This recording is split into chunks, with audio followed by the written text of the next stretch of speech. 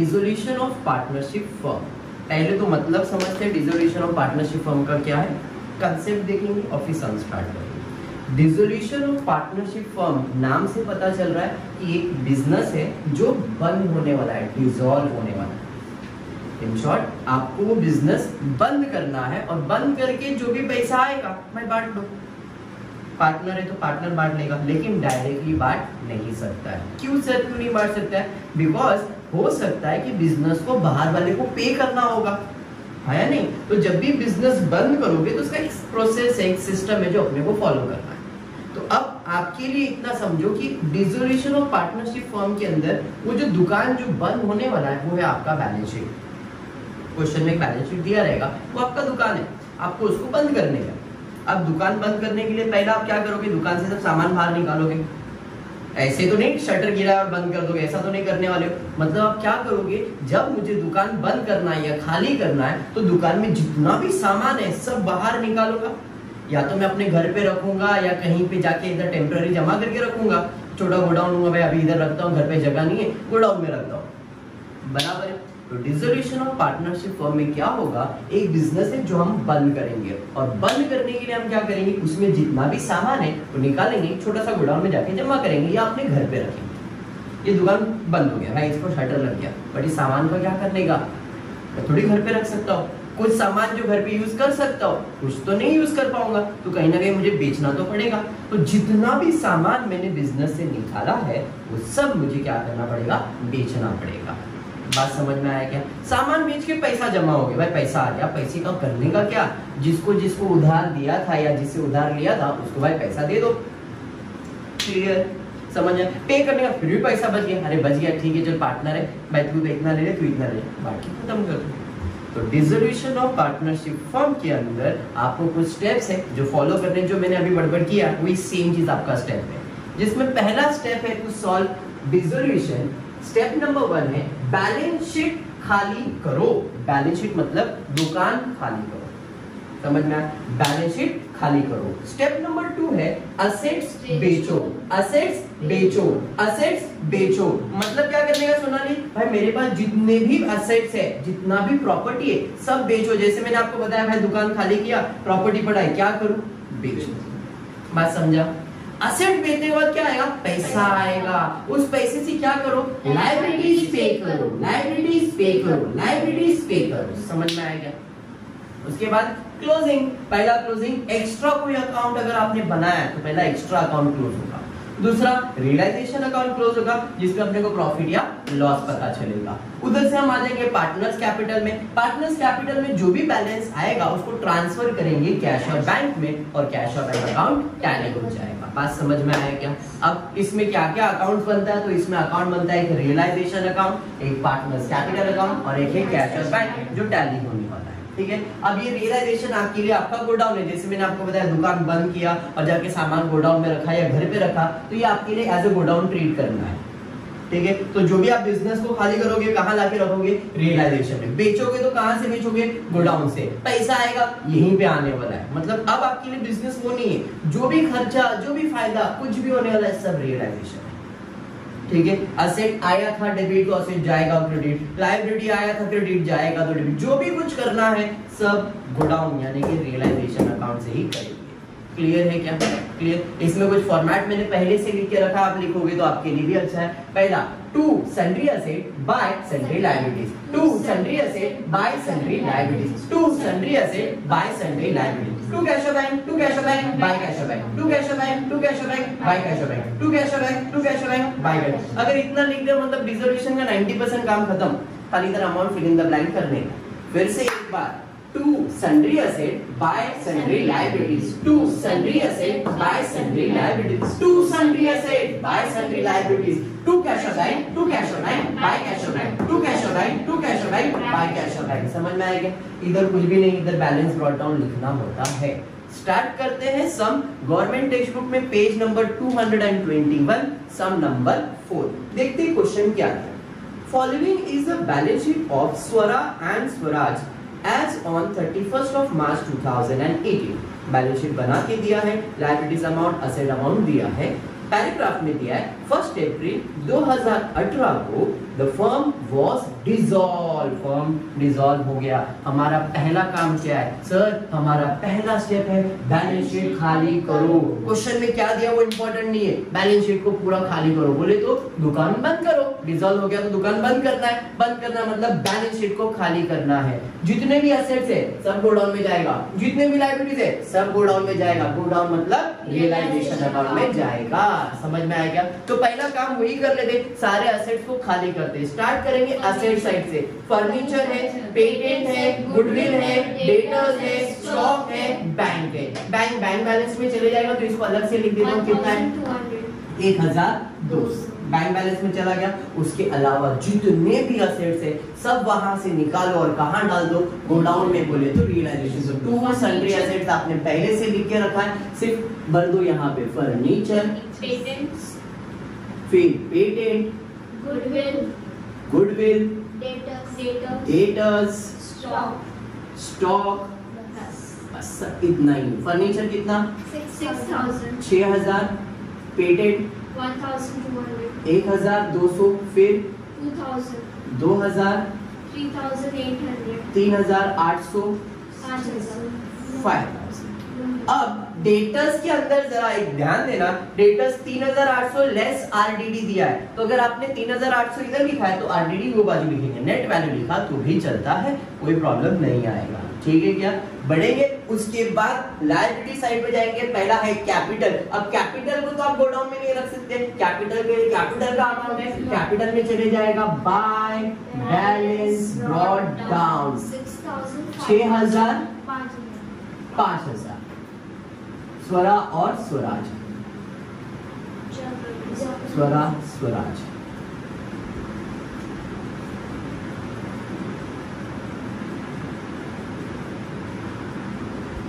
उसके बाद है जनरल रिज़र्व आपको पहले भी मैंने बताया था, जो भी रिज़र्व होगा उसमें किसका हक होता है? पार्टनर्स का हक होता है। तो जितना भी तुम्हारा रिज़र्व कोई भी रिज़र्व है, इसके ऊपर पूरा हक किसका है? पार्टनर्स का है। पार्टनर्स अकाउंट में चले जाएगा। क्रेडिट पे दिया है तो क्रेडिट साइड पे. बाय जनरल रिजर्व्स कितना है जनरल रिज़र्व बताओ जरा? जनरल रिज़र्व 2000 अब 2000 को कौन से रेशियो में डिवाइड करेंगे? तो या तो क्वेश्चन में प्रॉफिट शेयरिंग रेशियो देना होना चाहिए. अगर नहीं दिया है तो इक्वली डिवाइड करेंगे. तो क्वेश्चन में कहीं पे भी प्रॉफिट शेयरिंग रेशियो दिया है क्या?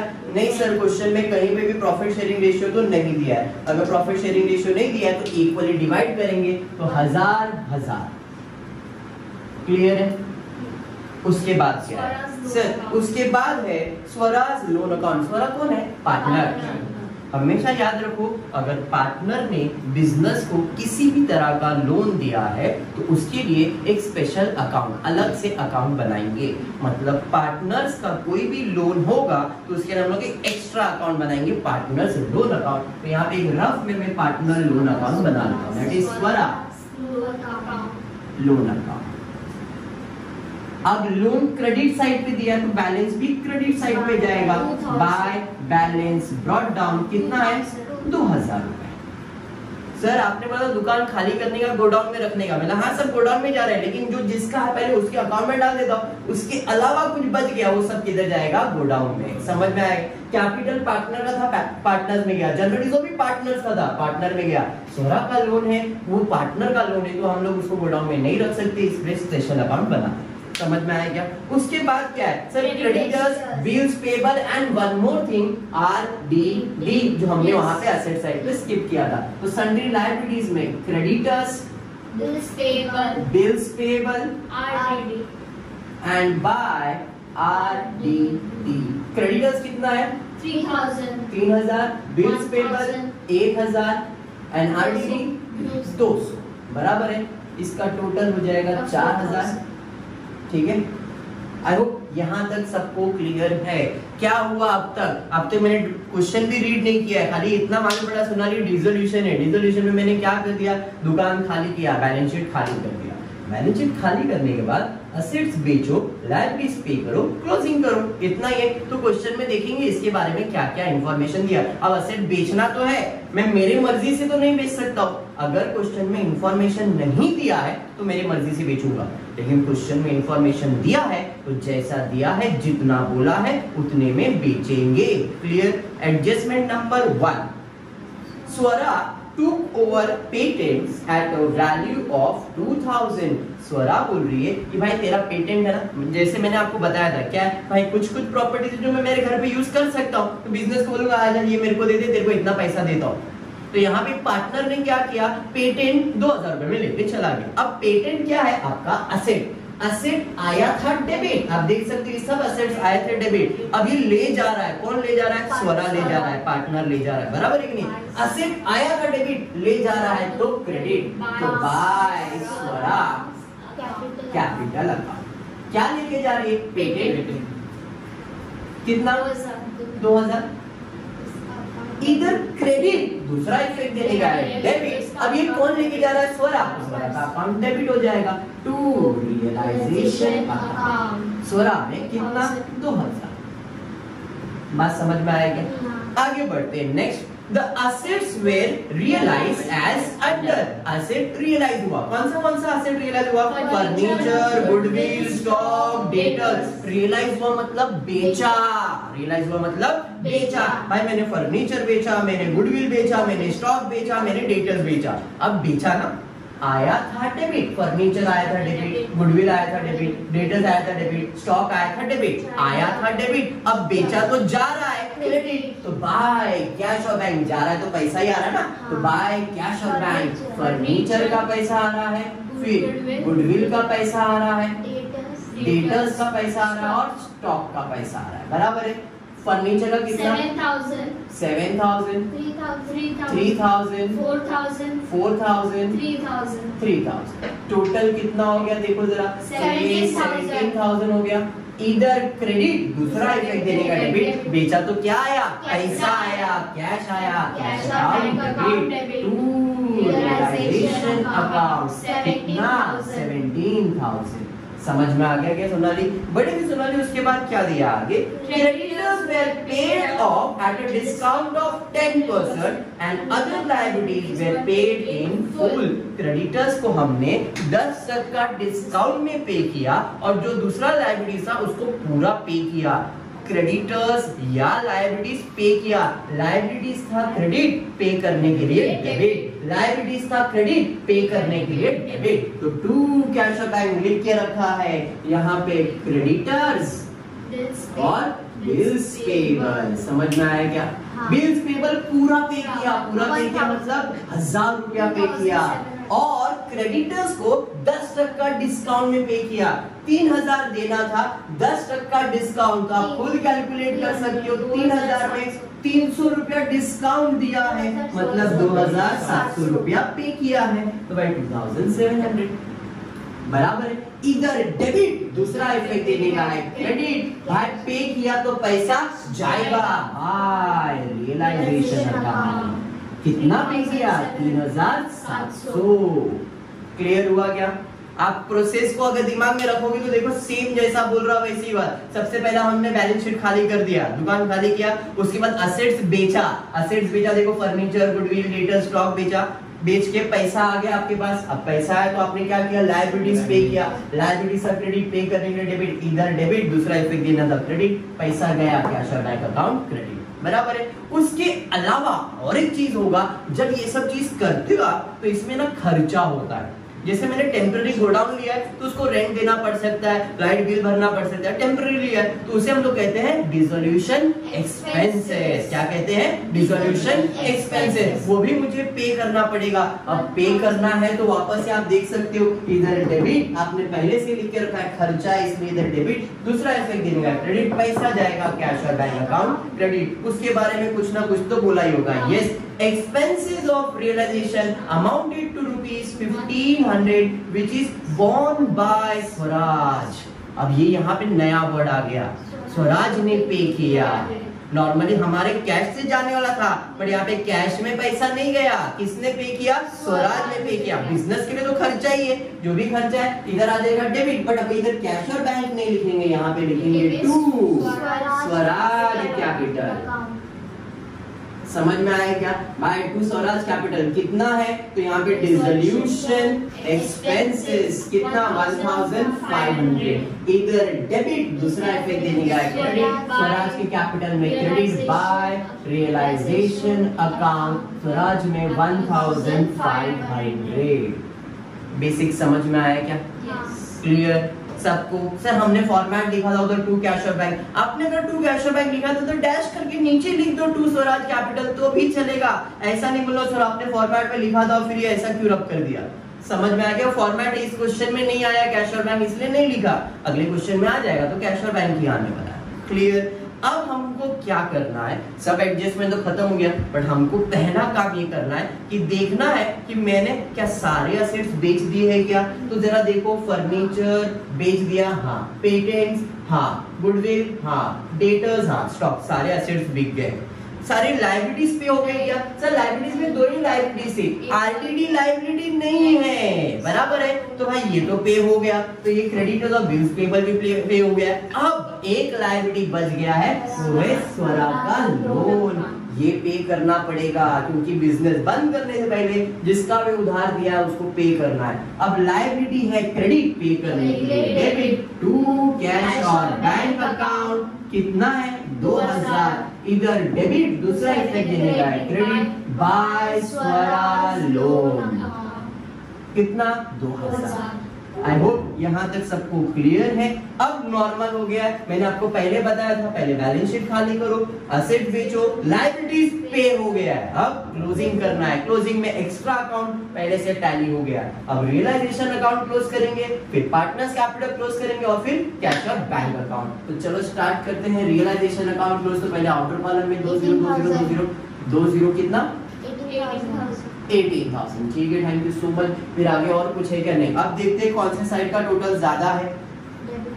यहाँ पे अठारह और तीन। अठारह और तीन हो जाएगा बाईस और तेईस। तेईस हो जाएगा और ये हो जाएगा सत्रह। अठारह, उन्नीस। उन्नीस, बीस, इक्कीस, बाईस, तेईस हज़ार दो सौ। ऑलमोस्ट आसपास ही दिख रहा है। मेरे हिसाब से नो प्रॉफिट नो लॉस दिख रहा है दो ज़ीरो दो ज़ीरो दो ज़ीरो दो ज़ीरो दो ज़ीरो। ज़ीरो ज़ीरो, दो। दो हो गया। फिर चार और सात। सात, चार, ग्यारह। ग्यारह और दो, तेरह। तेरह का तीन और एक ऊपर, एक और दो। तेईस हज़ार दो सौ, तेईस हज़ार दो सौ। दो ज़ीरो दो ज़ीरो दो ज़ीरो दो ज़ीरो। ज़ीरो ज़ीरो, सात और पाँच, बारह। बारह में ज़ीरो ऐड करेंगे। बारह में ज़ीरो ऐड करेंगे ना तो बारह आ जाएगा दो और एक ऊपर। एक और आठ, नौ। नौ और तीन, बारह। बारह और एक, तेरह। तेरह में ज़ीरो ऐड करेंगे। यू नो एक मतलब नो प्रॉफिट नो लॉस तो टू नेट प्रॉफिट डैश इधर कुछ भी नहीं है अब यहाँ से वो यहाँ जा ही नहीं सकता है फिर। मतलब ये तो हो गया खत्म। अब इधर आएँगे। पार्टनर्स अकाउंट क्लोज करेंगे। पार्टनर्स अकाउंट क्लोज करते दो ज़ीरो दो ज़ीरो दो ज़ीरो दो ज़ीरो। पाँच। और सात हज़ार पाँच सौ और ये है सात हज़ार। भाई, सात हज़ार हो गया यहाँ पे। यहाँ पे सात हज़ार पाँच सौ हो जाएगा।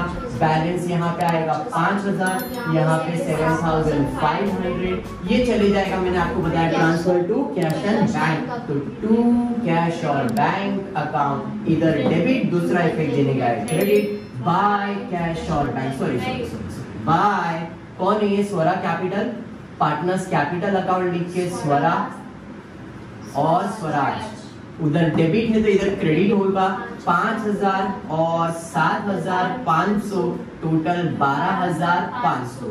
अब ये टैली हो जाना चाहिए। चलो चेक करते दो ज़ीरो, दो, सात और एक, आठ और एक एटीन थाउज़ेंड टू हंड्रेड दो ज़ीरो दो ज़ीरो दो ज़ीरो तो दो ज़ीरो, सात और पाँच, बारह। एक ऊपर, तीन और एक, चार चार और दो, छ छ और दो, आठ और एक, अठारह हज़ार समझ में आया?